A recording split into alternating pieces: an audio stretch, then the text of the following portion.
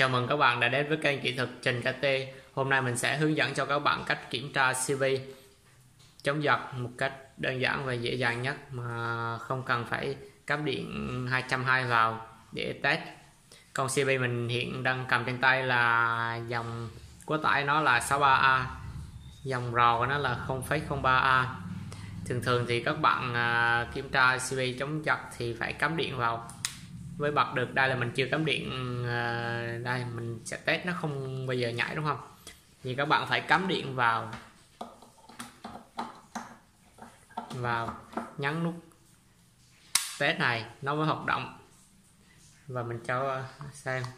Thì à, mình hai cực mình mình đảo chiều thì chiều nào nó cũng hoạt động hết.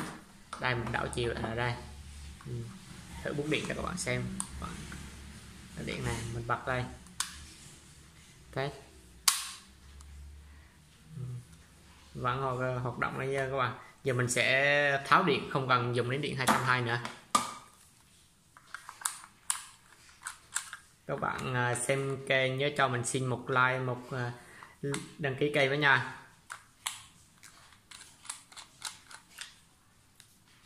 Này mình sẽ bỏ luôn. Không cần dùng đến nó nữa và bây giờ mình sẽ test bằng à, cách dùng pin cho các bạn xem. Không cần dùng đến điện 220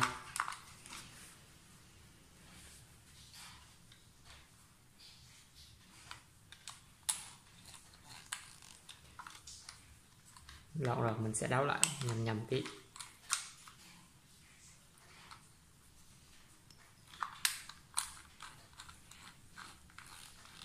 đây mình đã đấu ờ, hai dây điện này vào cho nó này các bạn xem nha. Giờ mình ờ, cái này là mình bật lên mình không bao giờ nhấn nút test được nha các bạn. Mình sẽ test bằng một ờ, viên pin tiểu như thế này.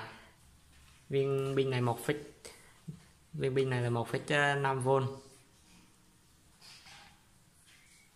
hay các bạn xem, mình test thử cho các bạn xem.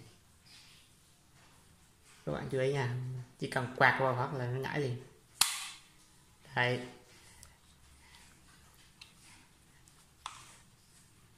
Chỉ cần à, kiểm tra như vậy là đủ rồi, là à, biết là CV chống giật có hoạt động tốt hay không. Và bây giờ mình sẽ đảo qua cực bên này.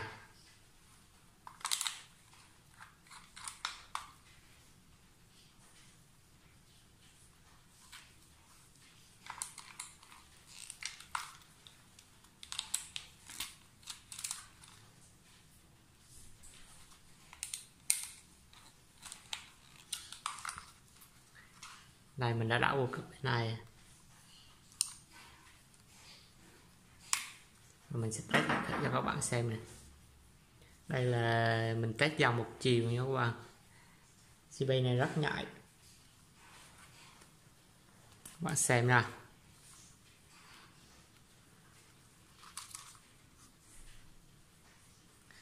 Các bạn thấy đây, động phát là nó nhảy liền.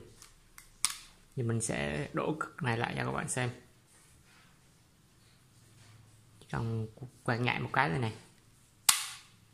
Giờ các bạn.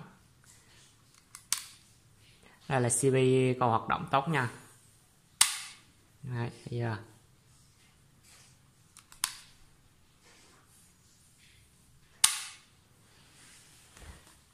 Yeah. video đến đây cũng đã kết thúc.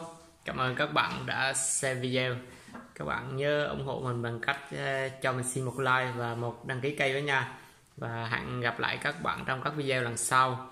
Thì ờ, mình là chuyên ờ, làm về điện ờ, dân dụng và điện công nghiệp, sửa chữa tất cả các loại motor điện. Các bạn nào thích thì để lại bình luận bên dưới để mình có thể giải đáp các thắc mắc và cùng nhau chia sẻ những kiến thức nha. Cảm ơn các bạn nhiều. Nhớ cho mình xin một đăng ký kênh với bye bye. Hẹn gặp lại các bạn trong các video lần sau.